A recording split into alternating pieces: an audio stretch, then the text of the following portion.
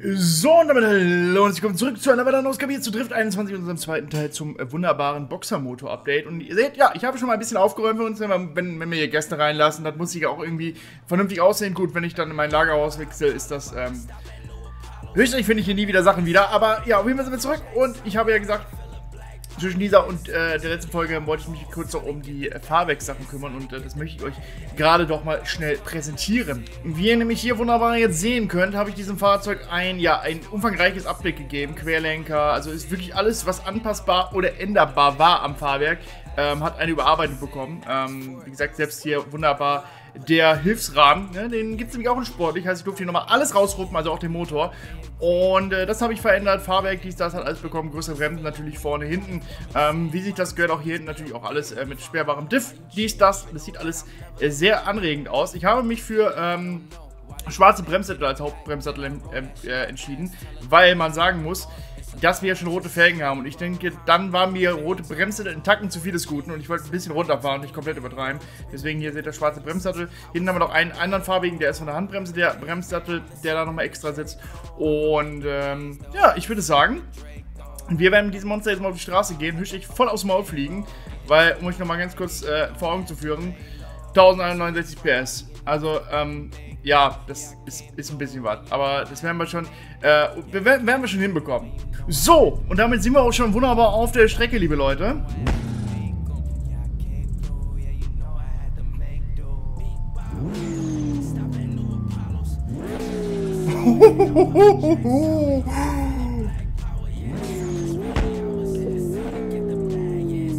Oh, das klingt schon mal annehmlich. Ich sag mal so, damit können wir arbeiten. Das, das geht schon mal fit, alter Verwalter. Holy shit, was geht denn bei dir ab, Kollege? Beruhig dich doch. Junge, Junge, Junge. Ich kriege im Innenraum gleich einfach noch viel brutaler. Ich liebe es. Ich liebe es. Okay. Ähm, wir haben mal keinen... Nee, ich, ich hätte gerne... So. Ich würde mal sagen, ähm, wir schauen einfach mal, was so geht. Was unser Boxermotor so kann.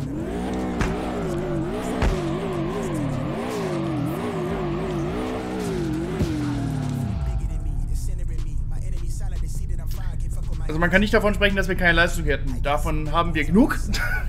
Mehr als genug. ähm, Klang, also...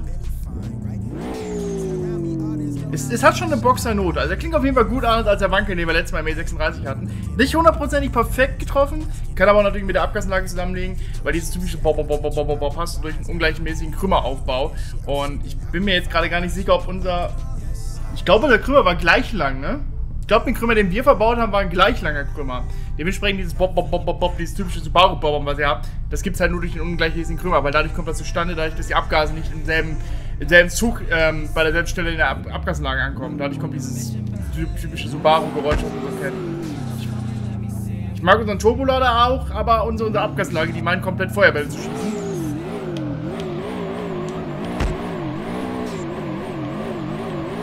Ja, lässt sich aber ordentlich kontrollieren, der Kollege, muss ich sagen. Das äh, fühlt sich auf den ersten äh, Einblick schon mal sehr gut an. Ich will mal in die Innenperspektive gehen, weil ich glaube, damit komme ich ein bisschen besser klar. Sagt er und nimmt den ersten, ersten Helfenstapel mit.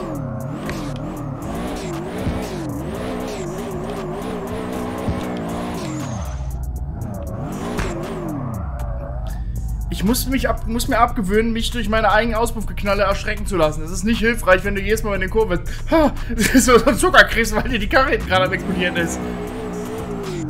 Das wäre nicht der Fall, hätte ich nicht gemeint, das Ding gefühlt auf 20.000 PS zu bauen.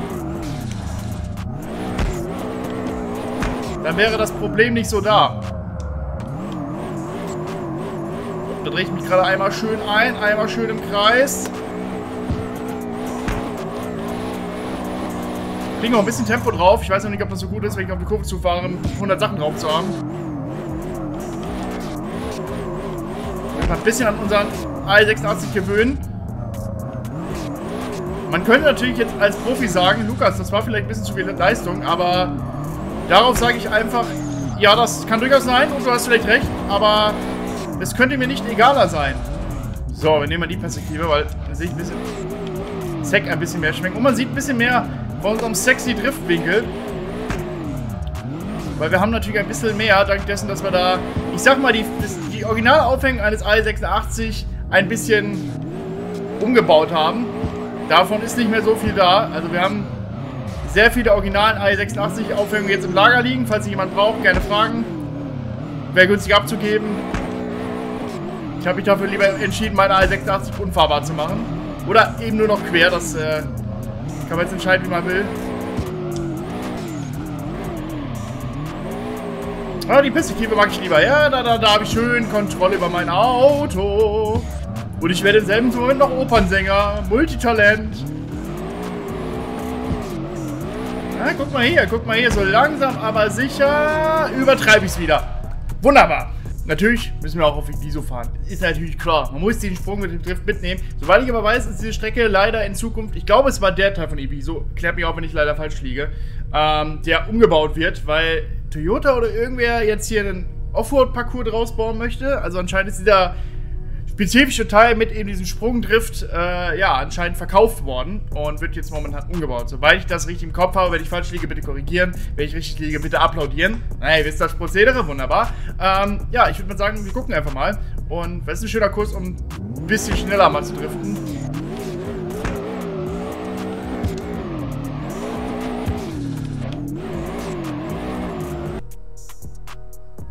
Würde jetzt schon mal sagen, dass ich den AE86 mit Boxermotor geiler finde als den E36 mit Wankelmotor, weil den Sprungdrift habe ich beim E36 nach 20.000 Anlaufen hinbekommen und das hat komischerweise jetzt im First Drive funktioniert. Okay, funktioniert ganz gut, dass sie hier gebaut haben anscheinend. Also selbst ein kompletter Noob kann damit umgehen.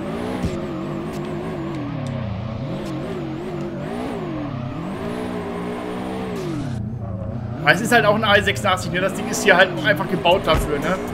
Und wenn man dann halt noch schöne japanische Technik da reinballert im Sinne eines wunderbaren Boxerherz, dann ist das halt einfach, eine Kombination, die einfach sehr gut miteinander harmonisiert.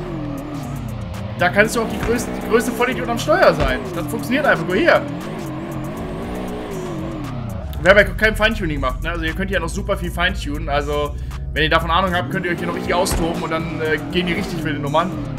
Aber ich meine, das hier funktioniert hier wunderbar ohne Feintuning. Und die Kiste ruppt hier einfach quer. Das ist schon ein Träumchen, ich sage euch. Das macht, macht schon ein bisschen Spaß. Natürlich auch geschuldet der Geräuschkulisse, die mich ein bisschen anhört, weil Boxerklang plus Nonstop Feuerwerk am Heck und ein Turbolader, der konsequent Schnappatmung schiebt. Das macht schon Spaß zusammen.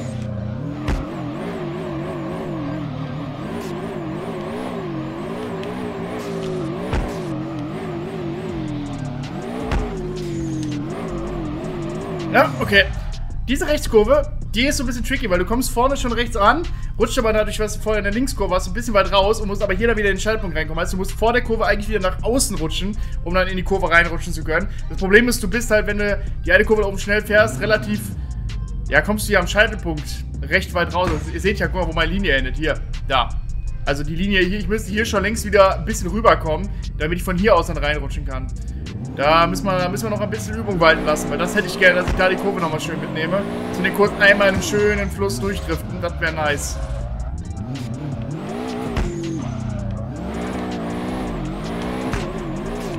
Das Geil ist halt so eine schöne Highspeed-Kurve hier, da kannst du richtig reinscheppern mit der Kiste.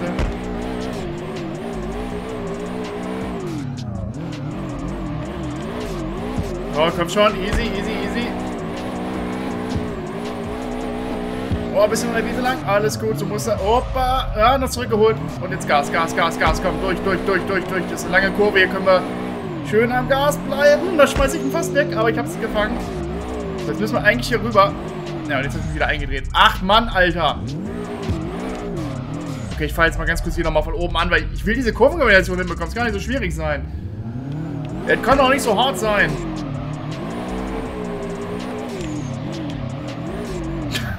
okay, ich drehe mich halt schon vor der Kurve ein. Geil. Was ist denn mein Problem? Das war eine rhetorische Frage. Ihr müsst mir meine Probleme nicht aufzählen.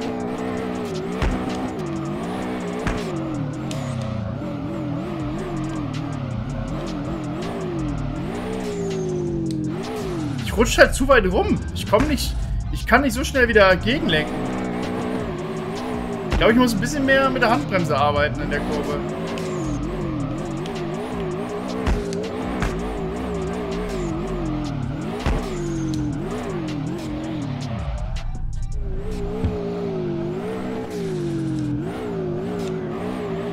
Ja, ich nehme ich nehm das jetzt mal hin. Ich nehme das jetzt mal als Versuch hin.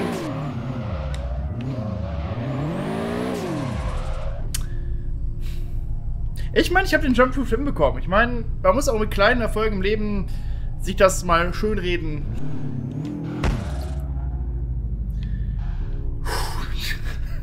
Ich weiß nicht, warum ich das hier mal zusammenzocken lässt, ey.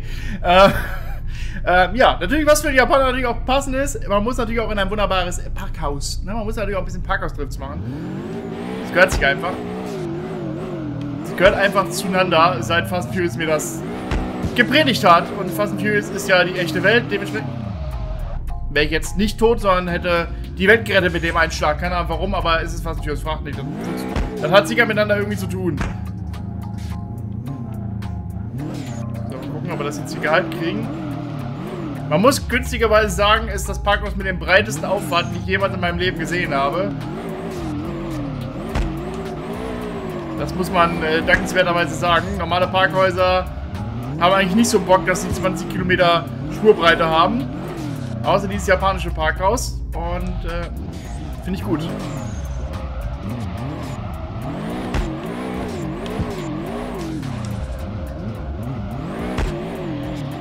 Oh, komm, komm, komm, halten, halten, halten, halten, halten, halten.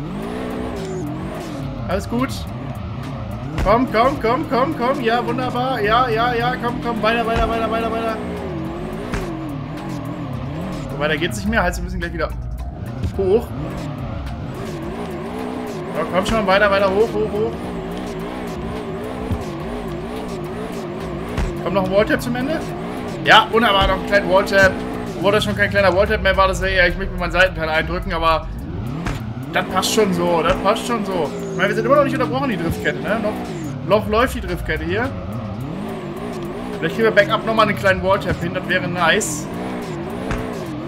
Kleinen Walltap, kleinen Walltap, komm, weiter raus, ja, komm noch ein bisschen, noch ein bisschen raus. Ja, da war er, da war, da war der, da war der Walltap und dann ich mich ein, nein! Aber es war ein Walltap. Also ich meine, es war erst recht ein gewollter. Es ist ja kein. Ein Walltap kannst du ja auch sagen, oh, das war hab ich gut gemacht. Also ich bin einfach viel zu weit rausgekommen, hab Picard nicht unter Kontrolle gehabt und hab ein bisschen die Wand berührt. Aber das war ein gewollter. Ich habe extra die Spur nach außen treiben lassen, die Lenkung aufgemacht. Das war ein bisschen mehr äh, nach außen tippen. Ne? Also das war, das war gewollt. Schon mal Abschluss müssen natürlich noch meine Lieblingsstrecke im Spiel fahren, nämlich die Toge-Strecke. Sieht man daran, dass ich diese Strecke kein bisschen drauf habe. Wunderbar. Äh, weil Toge, Renn, Bergdrift sind immer nice. Da machst du nie was falsch mit. Und so ist das mit dem AI86 mit Boxerherz natürlich genauso. Erstmal muss ich die scheiß Berg hier hochkommen. Mit leichten Traktionsverlust.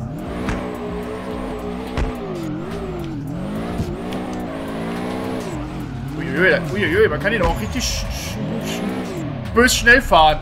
Nur ich verliere dann auch bös viel die schnelle Kontrolle. Ja, das sind die Gegenschwünge, die ich gerne, die ich gerne schaffen will. Dieses Zack von einer Seite in die andere Richtung werfen. Ich darf es natürlich nicht zu schwungvoll machen, weil sonst rutschen wir natürlich in der nächsten Kurve raus, wie wir gerade gesehen haben. Das machen wir irgendwann vermeiden. Ja, na, das war ganz okay, nicht perfekt, aber okay. Ich muss ein bisschen mal sanfter, langsamer da rein. Ich schmeiß die Karre halt einfach mit viel zu viel Tempo rein und dann machen die G-Kräfte ihren Rest und die wollen wir halt vermeiden. Ja, das war gut. So, in andere Richtung. Die Richtung, ja. Nein, nein, nein, nein. Wie sehr haben Sie Kontrolle über Ihr Fahrzeug? Ich kann gerade kein Deutsch mehr reden. Gibt Ihnen das nicht genug Ansatz darüber, wie sehr ich mich gerade in Kontrolle fühle? Versuche mich jetzt zu konzentrieren. Ich halte einfach mal meine Backen. Das habe ich letztes Mal auch schon gemerkt. Wenn ich ruhig bin, funktioniert es besser.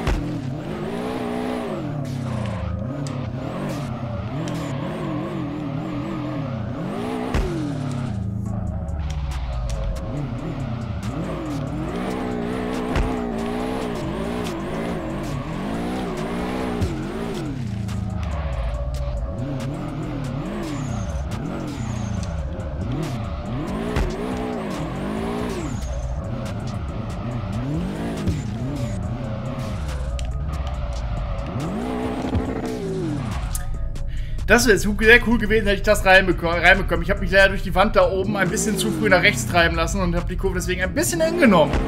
Aber es war trotzdem besser als die Twice davor. Es war trotzdem besser als die Twice davor. Also da kann man nichts sagen.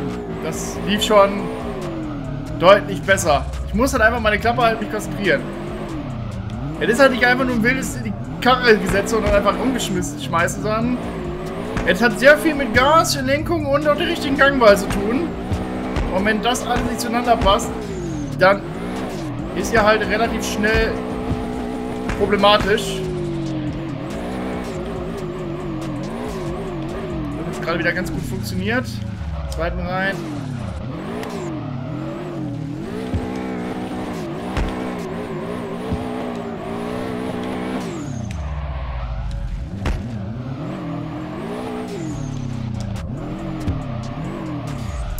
Und wieder übertrieben.